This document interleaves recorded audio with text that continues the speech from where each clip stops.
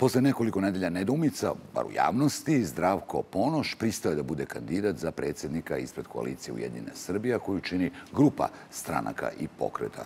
Po činu general, po obrazovanju inženjer da li će besprekorna biografija, poznavanje državnog sistema i diplomatije biti dovoljni protiv kandidata koji je na vlasti 10 godina ima sve državne resurse i beskrajnu medijsku podršku. Predsjednički kandidat Zdravko Ponoš, gost je pregleda dana. Dobroveče, hvala vam. Hvala mnogo što ste ovde. Evo, re, rekao smo saga o, o razmišljanju kandidatima je završena. Šta je tu je, nema sada, sada nazad. Da li vaša kampanja počinje odmah i koje su to glavne vaše poruke zbog koji bi ljudi trebalo da podrže vas, a ne nekog od drugih kandidata koji ne moraju biti Vučić? Pa ne znam da li je kampanja, ali jeste neka vrsta predstavljanja. Ja sam mhm. svesan toga da možda jedan deo Srbije, jedan deo građana Srbije nije sasvim upoznat sa, sa tim šta sam ja radio, ko sam imao tako medijsku sliku u Srbiji. Nisam bio toliko ni eksponiran prethodnih godina, tako da je svakako vreme da, se, da, me, da me potencijalni glasači bolje upoznaju. Nadam se da je ovo prilika za to. Mhm. Kako? Koje su vaše glavne poruke? To obratite mi se odmah. Pa ja sam nešto od toga izneo danas na konferenciji za štampu i vi ste to večeras preneli. Da. Ali te poruke dolaze i od onoga što ja percipiram da, je, da su najveći problemi u ovom društvu. A svakako jedan od najvećih činjenica da je ovo raspolućeno društvo i to načinom na koji je ova vlast vršila svoj posao i pre svega prvi čovek ove vlasti. Predsednik države bi trebao da simbolizuje državno jedinstvo, a on je uradio sve da u državu raspoluti, da da građani jedina druge gledaju na ove i na one druge. To je ton koji je setovan tokom ovih godina vladanja i to je ostavilo duboke tragove. S druge strane, građani ne osjećaju državu kao svoju. Danas kad dođete na bilo koji šalter, imate utisak da ste došli da tražite nešto što tako se postavlja, nešto na što nemate pravo. A svi koji rade i primaju platu od, od poreza, od onoga što građani ove države plaćaju, bi trebali da se odnose prema tim građanima kao da rade za njih i da budu svesni toga. Ovde su stvari naopako postavljeno. Ovde je postavljeno. Postavljeno je tako da, da su nam susedi neprijatelji, da se, da se opet šire neki tonovi koje nam ne trebaju, da prečesto gledamo unazad, premalo unapred. E, socijalna pravda je opet postala upitna u ovom društvu. Narušeni su školstvo, zdravstvo, mnogo toga.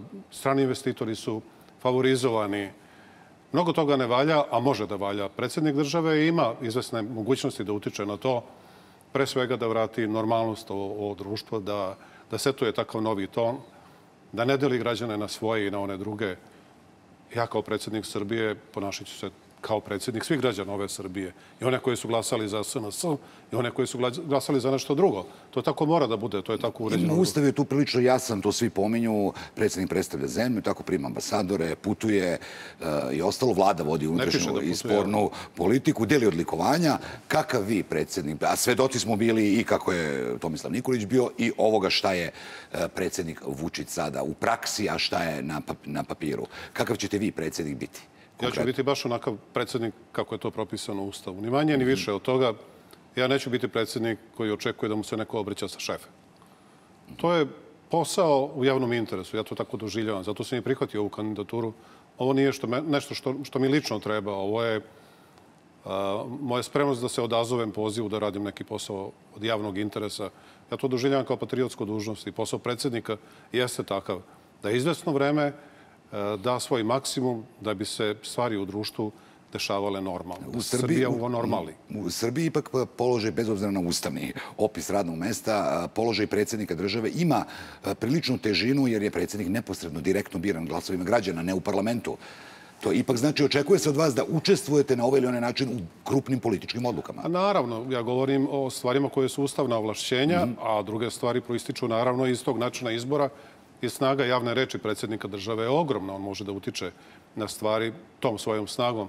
Ja namera da koristim tu moć, ali ne tako što zloupotrebljavam institucije, nego tako što kažem što mislim. Postoje stvari o kojima ja dosta znam, razumem ovaj narod, razumem i svet, e, imam iskustvo u stvarima koje su u nadležnosti predsjednika, ali se neću slučavati da kažem što mislim i o svemu ostalom. Bez obzira da, su, da li su to ekološka pitanja, pitanja iz oblasti kulture, ekonomije, ali to neću raditi tako što je to sad potpuno privatno mišljenje. Naravno, oslanit ću se na, na struku, okružit ću se ljudima koji imam poverenje, a to će svakako biti oni koji to najbolje znaju u Srbiji, a koji su spremni da pomogu. Sad, izlazak na izborni megdan direktno, lično, personalno, i to Aleksandru Vučiću zna se u, u ovoj zemlji šta podrazumeva, protiv vas već traje kampanja u tabloidima i e, lako je očekivati da će to biti samo još, još više. Kako nameravate, šta je vaš odgovor na to?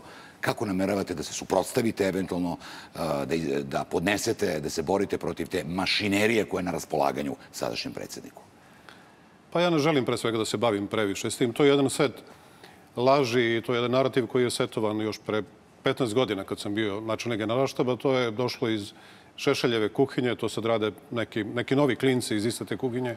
Ne zaslužuje to previše pažnju. To nije moj fokus. Moj fokus je o čemu smo govorili. Kako Srbija treba da izgleda, taj narativ i to što se plasira kao set vrednosti, tako Srbija ne treba da izgleda. Treba da bude sve suprotno od toga, a ja ne želim da trošim vreme skrećući fokus sa onoga što je interes građana. E sad, kako ćete u praksi e, širiti e, svoju poruku? Hoćete li imati svoj tim za predsedničke izbore ili će to biti zajednički koalicijni tim za sve izbore pa će imati ogranke za sve vas? To je tehničko pitanje i organizacijono. Dogovaramo ga u okviru koalicije. Svakako imaću i deo svog tima, ali nije, nije neophodno, nije ni racionalno, niti imamo resurse za to da, se, da taj tim uh, vodi celu kampanju, podrazumevajući neke tehničke aspekte. Trudit ćemo se da budemo krajnje racionalni, zato što nismo u situaciji da, da rasipamo sredstva kojih nemamo. Računamo na budžetska sredstva i još neke donacije i to je stvar koju moramo da imamo u vidu. Pomenuli ste da biste voleli vi da imate duel ili sučeljavanje sa predsednikom Aleksandrom Vučićem. On to do sada nije imao, ni sa jednim, ni sa jednim svojim političkim protivnikom, bar ne direktno u televizijskom studiju. Da li mislite da će do toga doći u ovoj kampanji i od čega bi to zavisilo? Pa ne radi se o tome da li bih ja to volio ili ne bi. Ja pre svega govorim o normalnoj Srbiji, u normalnim da. zemljama kad imate izbore, onda su i takvi dueli normalni. Da. Mi, nažalost, sledeće izbore e, ćemo opet imati kao izbore između dobra i zla, kao nešto što smo imali 2000. godine. Posle tih izbora ja se nadam da će doći vreme kad ćemo konačno imati izbore između dobra i bolje. To treba da budu izbori. A sad je to tako dramatično. Jedan takav razgovor, jedan takav duel sa razumnim tonom, sa međusobnim uvažavanjem, bio bi gest da i druga strana je, je spremna da poradi na tome da unormalimo Srbiju. Vi ste... Da li sam optimista za to? Mm -hmm. Ne mislim. Moja ponuda je otvorena. Da. Mislite da je to realno? U normalnom tonu da razgovarate bez povišenog i bez vređenja sa predsednikom Vučićem? Pa ja neću da... Sa njegove strane. Pa, ne, pa ja, ja neću da, da odbacim takvu mogućnost. Mm -hmm. Svako ima pravo da bude bolji da pokuša da bude bolji. A, kako ćete među građanima uh, imati kampanju? Vi ste vojnik, navikli ste na svašta, obučavani ste za svašta. Da li ste spremni da sada idete od vrata do vrata po Srbiji ova dva meseca ili već koliko to bude trajalo? Pa naravno da ću da morati da provedem dosta vremena na terenu i nije mi to -hmm. teško, spreman sam na to. Šta to znači u praksi? Znači, naravno, i u mnogo slučajeva od vrata do vrata ne može da se zakuca na svaka vrata. Ali ima nas dovoljno, ima dovoljno ljudi koji će biti u, na parlamentarnoj listi. Mnogi od njih su veoma iskusni, dinamični, mladi. Podelit ćemo se, bit će nas. Za vas, za vas mnogi kažu da imate potencijal kao kandidat da privučete i deo dosadašnjih Vučićevih birača. Vučićevih birača je do sada bilo mnogo. E, imate li poruku za njih? Kako, šta biste njima rekli? Ja mislim da su mnogi od Vučićevih glasača jednostavno uplašeni. To je jedna od poruka koju sam e, rekao i danas. Mnogi ljudi se jednostavno plaše države. To, to nije normalno. Mnogi se plaše kad se promeni vlast. Šta će biti s njima zato što su bili sigurni glasovi, zato što su glasali, zato što su pokušali da utiču na svoje kolege na poslu u kancelariji, nemaju čega da se plaše. Oni se plaše da će izgubiti posao jer su na, ne znam, nekim privremenim, povremenim poslovima. Svako ko ima odgovarajuće kvalifikacije, svako ko se nije ogrešio zakon, neće ostati bez posla. Nije bitno za koga je glasao. To ne treba da bude bitno. Doći će na posao taj ponedeljak posle izbora i sve će biti u redu. I na kraju samo e, više puta ste istakli da ste za jedinstvo, mi smo podeljeno društvo.